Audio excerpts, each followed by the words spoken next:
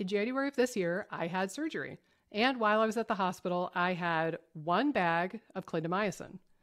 Now, I had talked to my doctor ahead of time, and we both agreed that there was not a lot of merit or need for me to take oral antibiotics after the surgery. So, hooray, I spared my microbiome, right? Well, not as much as you would think. I mean, I'm glad that I didn't take the extra antibiotics that clearly weren't necessary for me, but I am genuinely shocked what one single bag of clindamycin did to my microbiome. Now, for those of you who are not new to this channel, you already know I have done a lot of stool testing in the last year. I did an experiment with prebiotics where I would do stool testing pre and post intervention. I did one with a veggie mashup experiment. And I amazingly have, can say that I have 23 stool samples. Well, 23 samples from Ombre and six samples from BiomeFX to go off of as my pre intervention data set. And then after the fact, after my surgery, when I realized that I was struggling with way more constipation than was normal for me, I went ahead and I did eight stool tests over the course of a week. And that is our post intervention data set. So here we are. We've got 23 Ombres versus eight Ombres, six BiomeFX versus one new BiomeFX at six weeks post op. Let's go ahead and take a look at what one single bag of clindamycin did to my microbiome. I go ahead and give myself a head bubble here. And here we go. So let's go ahead and just start with the BiomeFX. For those of you who aren't familiar, I already did a couple videos talking about this and uh, using this in some of my data. This is a whole genome sequencing test, which is a wonderful tool, particularly for assessing diversity. And that's one of the things that I was really concerned about after having had antibiotics, is that antibiotics are known to decrease your diversity, and that's something that I wanted to check out. So let's go ahead and scroll a bit, and we will see, boom, oof, alpha diversity firmly in the red zone. Now, I will say, remember, there's another video in this series, and in that video, I'm going to talk about the fact that one single data point doesn't share the whole story.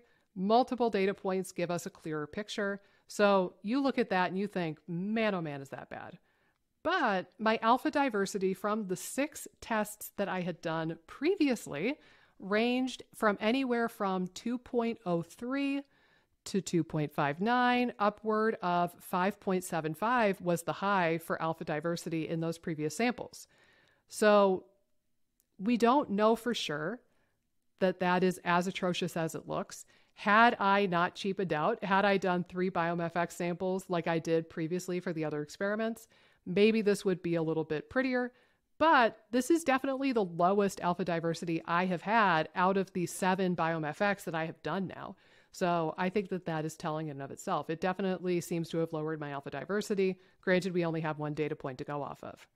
Now, my beta diversity doesn't look half bad. Actually, that is the second highest beta diversity that I have had using this test. So that was kind of interesting. I think that goes to show you that a lot of us have had a lot of antibiotics because beta diversity is just telling us are the microbes that I carry similar to those the, of people who live in my area of the world. So, if you were to sample somebody else from the continental United States, you would probably find very similar bacteria compared to what they found in my sample. That's basically what they're saying. But that didn't budge. Actually, that looks pretty darn good. Alpha diversity, though, the one that really matters more, in my opinion, did seem to go down at least a bit. Now, scrolling on. Another thing that I wanted to show you guys here was the pathogen uh, species that they assessed. And neither of these really were too far out of whack. In a couple of my previous BiomeFX samples, there were a couple other species that they detected that were within the normal range, but detected nonetheless. Um, in this case, C. diff, basically the same as it was before. My average from my previous three BiomeFX samples, which I had done around the new year, the average was 0.0379, and now I'm at 0.04, which is practically the same thing. Uh, maybe went up a bit. It's it's you know, I didn't have Bilophila on all of my samples even, but Bilophila, the average for the previous three BiomeFX stool tests was 0.0250, and now it's at 0.08. So that did basically triple from the last sample. Now you'll see it's still within the range, but it did triple from the previous sample, which I thought was kind of interesting. But let's get to the really juicy part. You're here for the juice, right? Here we go. And I need to figure out a place to put my head bubble that makes sense. Here, I'm just gonna I'm just gonna put myself right there. Okay. Let's get a little before and after action going. First, I will draw your attention to Akkermansia muciniphila, which is a really important member of the microbiome, particularly if you don't want leaky gut, which I do not. And you can see that this is not detected. But if you look at my previous three, it was absolutely detected and it was even elevated slightly in two out of the three previous samples, which is kind of horrifying. So we have one test, the BiomeFX, suggesting that Akkermansia took a big, big hit from that single bag of clindamycin. Now, I'm going to show you in a couple minutes, the OMBRE data does agree with that. OMBRE doesn't think that it's gone, which I'm relieved to find out, but OMBRE does agree that Akkermansia took a pretty substantial hit. Now, for the phylum data here, we, uh, or I'm sorry, not, um, well, the phylum is Actinobacteria, but looking here, when this test looks for Bifidobacterium they are only looking for two specific named species. I don't think there's a part in this test that looks at the whole genus of Bifido, although I could be misremembering that.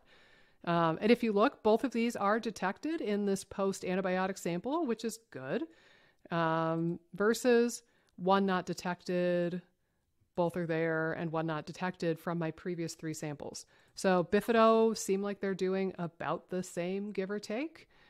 Now let's go ahead and we'll look at some of these Firmicutes members, starting with the top half. So you can see that the only one that's not detected is this Ruminococcus species, but otherwise all of the top half of this, all the way down to Eubacterium rectale, looks like they are at least detected. Looking back at my previous three BiomeFX samples, uh, we've got, there was a Roseburia intestinalis was not detected in that one, but otherwise similar. Roseburia intestinalis, again, not detected and not detected here. So in this case, it almost looks like I gained a species, which is interesting. Now, OMBRE disagrees with that. They say that I've had Roseburia intestinalis all along, um, chalking it up to just difference in technology here, but I found that very fascinating.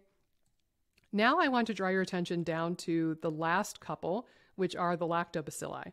So you could see Lactobacillus rhamnosus, gone, reuteri gone, and total lactobacillus species is not detected. So that's zilch.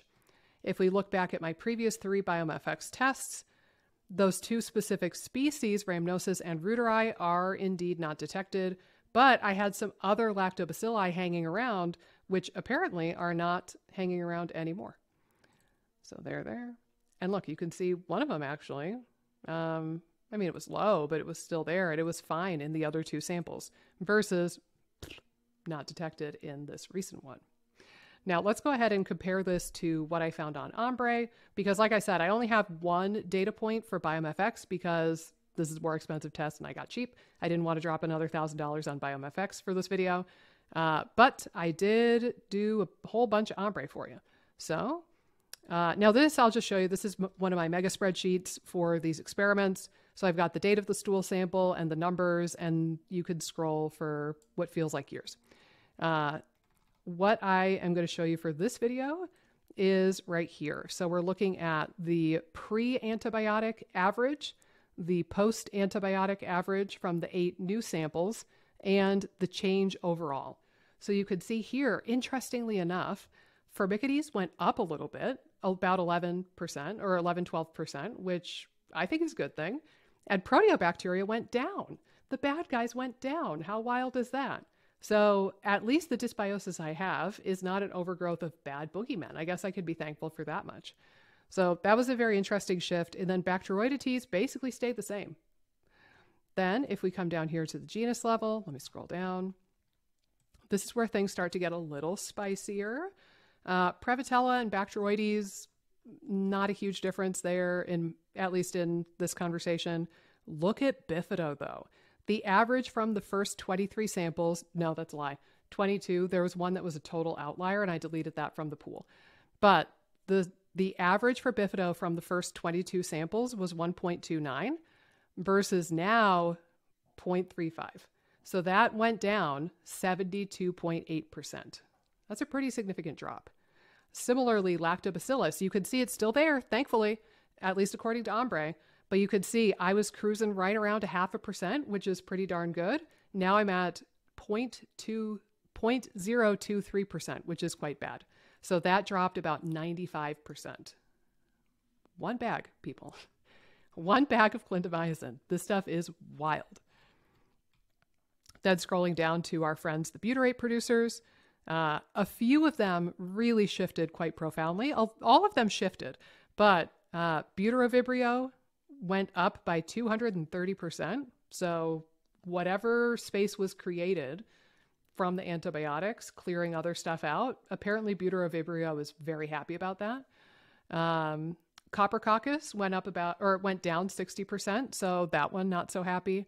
Faecalibacterium went up 50%. We're going to see this on the species level as well. And Roseburia went up 45%. So I don't know what the discrepancy is there between the two tests. Uh, but you could see clear as day, Roseburia was there all along. So I don't know why BiomeFX isn't picking up on it, or I don't know if Ombre's making shit up. I don't know. Uh, pun totally intended, by the way.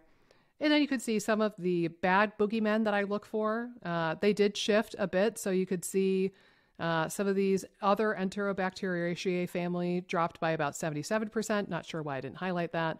Alistipes dropped by 68%. Desulfovibrio dropped by half. That's one of the hydrogen sulfide producers. Streptococcus went down by 68.9%. Um, we've got some pretty notable shifts.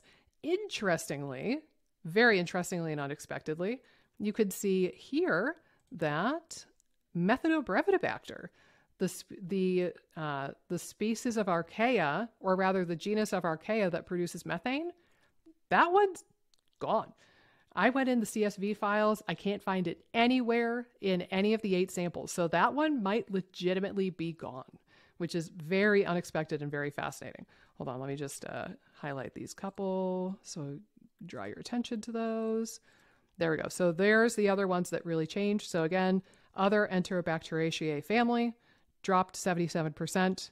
Streptococcus dropped 68%. Desulfovibrio dropped 50%. Methanobrevibacter looks like it's gone. And Alistipes dropped by 68%. Very fascinating stuff. Now, let's move on to the species, and then we're going to bring this home. We're going to give you some takeaways. So, again, we've got some individual species. Again, you can see Roseburia intestinalis was there all along. Freaking BiomeFX. Don't know what you're thinking about over there.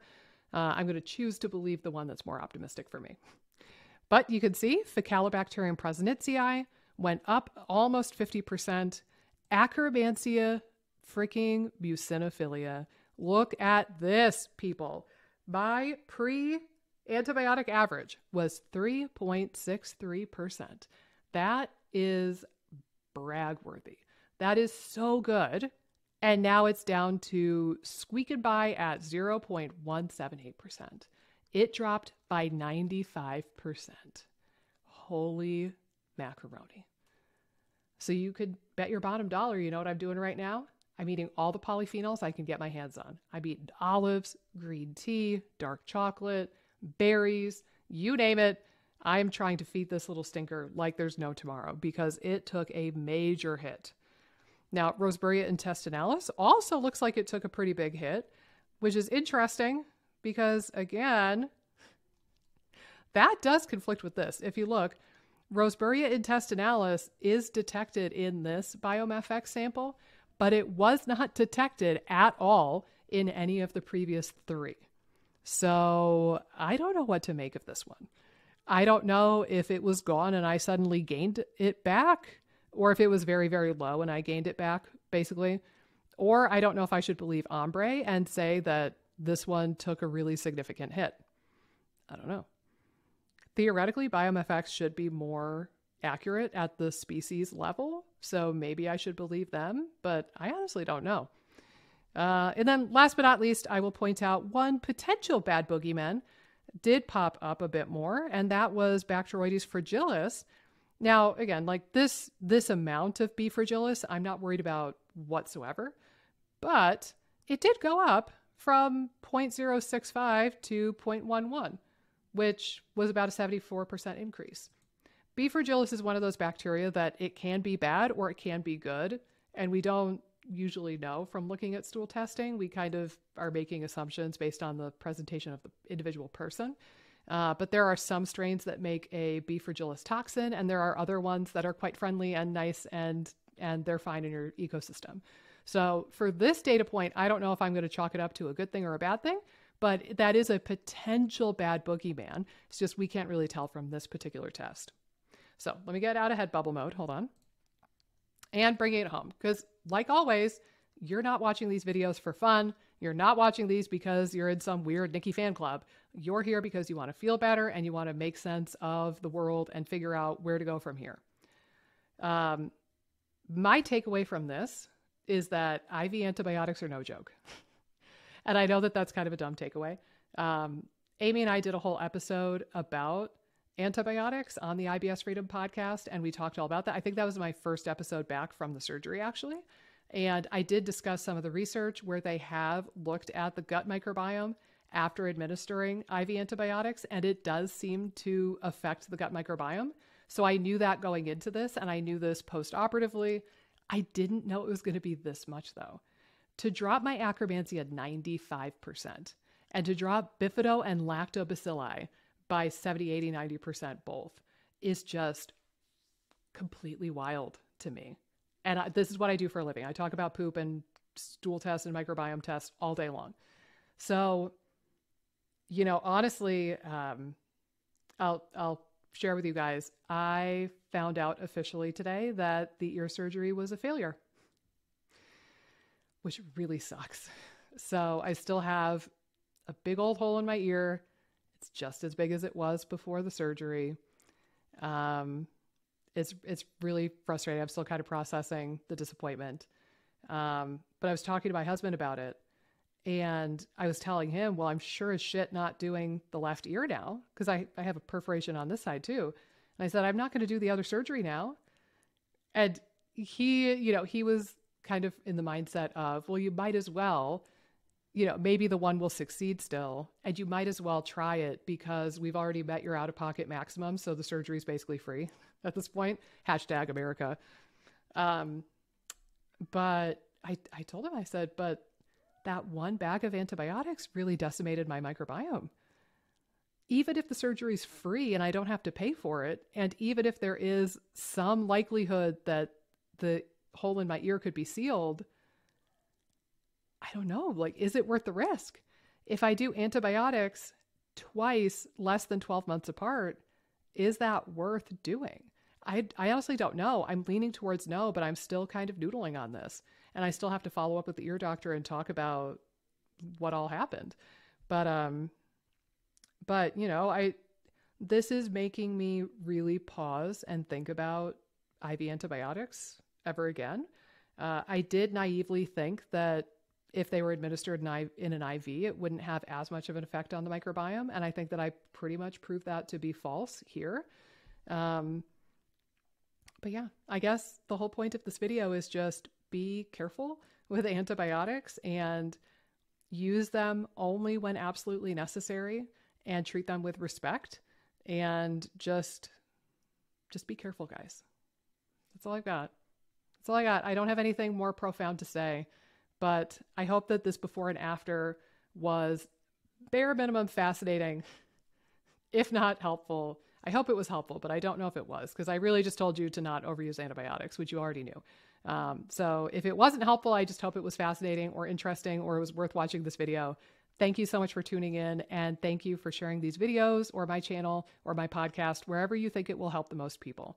There are so many people out there suffering from IBS and SIBO and IBD and GERD, and they're so miserable. And if even one of these videos helps people or touches people, then it's worth being here on YouTube. So thank you so much for helping me spread the word as much as possible.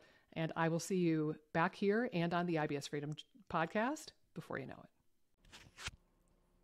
Hey guys, if you like this video, be sure to subscribe, ring the bell, click the like button, and leave a comment down below with the videos that you would like to see me do next.